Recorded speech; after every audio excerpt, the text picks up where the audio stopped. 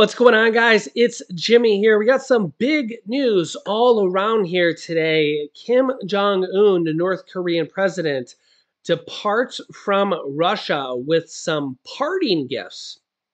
And we'll go over that here today after a six day trip in Russia. We'll reveal what we know here so far. We're going to be getting more information here on that. We'll talk about that here today. Um, I'm also going to give you a clip here right now about what former President Donald Trump says about what Vladimir Putin, Russian president, said about him. Interesting. Take a listen to this and let me know your thoughts here in the comments. Here we go. I want to ask you about something President Putin said about you this week. I don't know if you've seen it. This was very recent. President Putin said, quote, we surely hear that Mr. Trump says he will resolve all burning issues within several days, including the Ukrainian crisis. We cannot help but feel happy about it. What do you make of that? Do you welcome well, his support? I like that he said that because that means what I'm saying is right. I would get him into a room, I'd get Zelensky into a room, then I'd bring them together and I'd have a deal worked out. I would get a deal worked out. It would have been a lot easier before it started. Essentially, for four years, I kept them from doing anything. Because you know what? I will tell you this. I've never said this. Ukraine was the apple of his eye. I said, don't ever do it. Don't ever do it. He would have never done it. But again, oil prices. He wouldn't have done it because of me, but oil prices. The prices were so high that he had so much money. So he had all this money to prosecute the war. The one who drove up the prices was Biden. Given that President Putin has bombed maternity wards. 20,000 kids it's kidnapped from Ukraine by terrible. Russia, mass graves. Yeah. Do you welcome his support, his all but endorsement? Look, I had a very good relationship with him, and yet nobody was tougher on Russia than me. I stopped Nord Stream 2. You never heard of Nord Stream 2. That was the pipeline until I got involved. I said Nord Stream 2, people that were sophisticated, military people and political people never heard of Nord Stream 2. I had it ended. The pipeline was dead. Biden came in and he approved it. There was nobody tougher than me with Russia, and yet I got along with Putin. Let me tell you, I got along with him really well. And that's a good thing, not a bad thing. He's got 1,700 nuclear mi- missiles, and so do we. But look, that's a good thing. Getting along is okay, but I got along through strength. And the war would have never happened the war would have never happened. Now, what's happened? It's so bad. The oil price is so high. It's hard to get it stopped. The oil price is so high. When he goes above 50 and $60 a barrel, he makes a lot of money on the war. Now, it's a humanitarian thing, it's a lot of different reasons, but I will get that war stopped. Yeah, let me know your thoughts here in the comments. And, uh, you know, getting the war stopped going to be harder than um, a lot of people think. Russia says they're not leaving without Ukraine's land, a large portion of the Eastern Front, some of a lot of which uh, that they don't even control uh, anymore. And um, this includes the people that live on the land, the resources there, the oil in the land, the natural you know resources there. And this also includes the people that live there so that they could tax them. And so remember that they can also have those people fight in their future wars against potentially against Ukraine in the future. Remember here that, so first of all, they have a draft that is anywhere from 18 to 30 so that they can literally have those people then fight against Ukrainian people potentially in the future. Remember that in the past, Ukraine or Russia had a pact, a, an actual treaty that was signed that said if Ukraine gave back the nukes that were on Ukrainian land uh, after Ukraine separated from Russia and the Soviet Union, USSR, that um, remember that Russia had the codes for them, but Ukraine had them on their land after they separated. Ukraine gave them back. Russia said, if you give them back to us, we will never invade Ukraine. Yeah, so a lot of good that uh, pact, that treaty that Russia signed did because they literally just, you know, went against their word. So Russia's word is only as good as their word, which they completely just, uh, you know, went against. So nonetheless, they didn't hold up to their word. They just invaded them anyways. Yes, let me your thoughts here on that.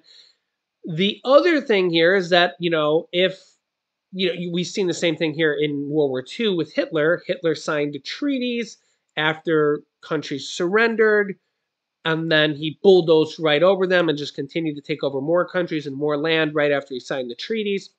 Again, you know, we're seeing the same thing here. People think that even if somehow the war was negotiated to end, how long would Putin even stop? Again, we've seen him take over um, Crimea.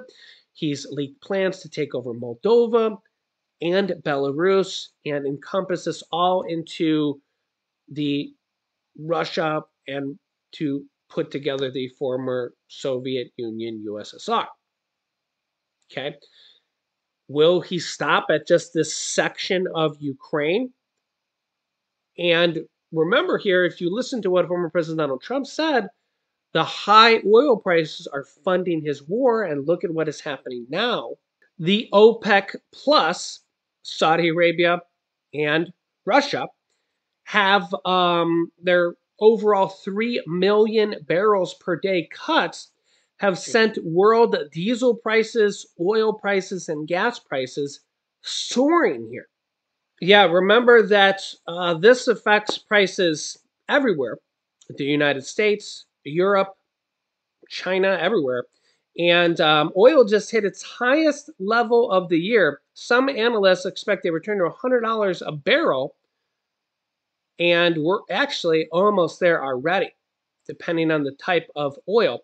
WTI crude almost at $91 a barrel. Brent crude at $93 a barrel, 93, 93, $94 a barrel. Murban crude at $96 a barrel. We're a hop, skip, and a jump away from almost $100 a barrel, guys. Yikes. This is despite U.S. gas prices being almost at the highest they've ever been from the U.S. Energy Information here, our U.S.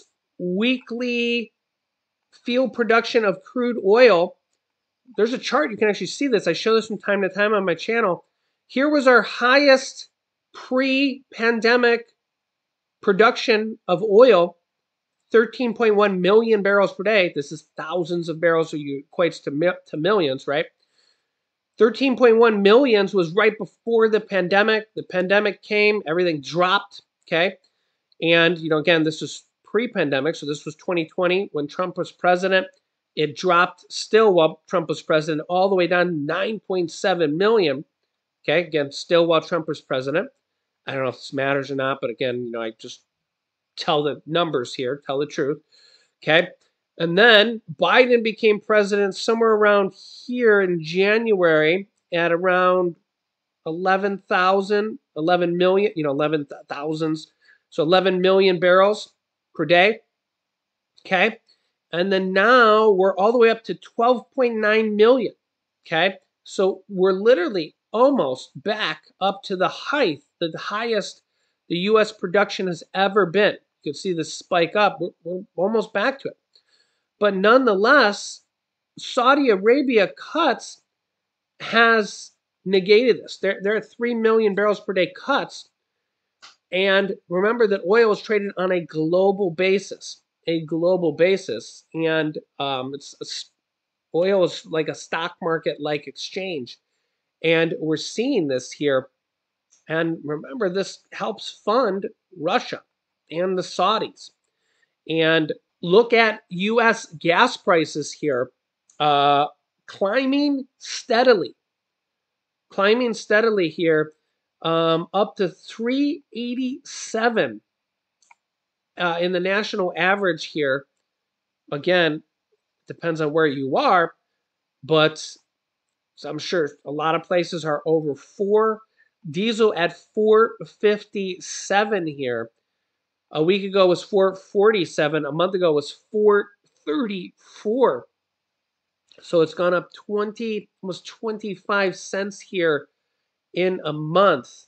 And if you're in California, the largest populated state, God bless you because look at these California gas prices 565 for regular gas, nearing $6 a gallon.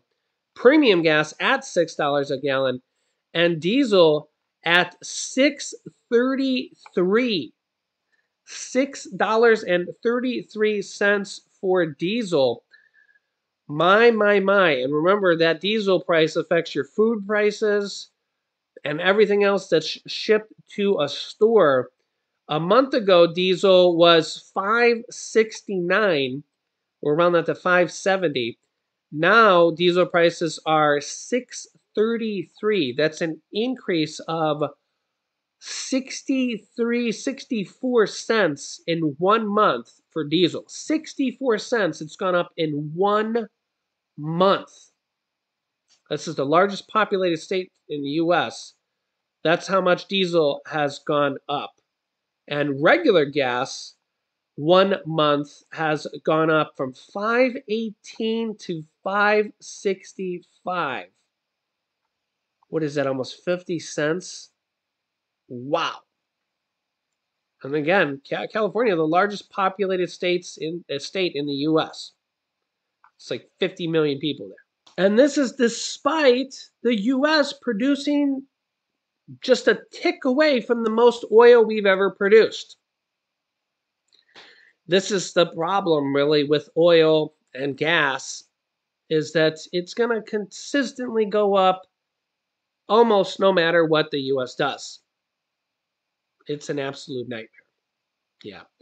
Let me know your thoughts here in the comments. I'll keep you up to date here. If you haven't yet, subscribe down below. Click the bell icon so you don't miss out on any new videos that come out here on our YouTube channel at 10 a.m., 3 p.m., and 8 p.m. Eastern Standard Time. Thanks for liking and sharing these videos. Click here to see the new assassination attempt that just happened and what Russia just said about North Korea striking the U.S. Or click here to see about mask mandates and the new uh, C19 vaccines. A lot going on here. Click on one of those videos next. Thanks for watching, guys, and I'll see you in the next video.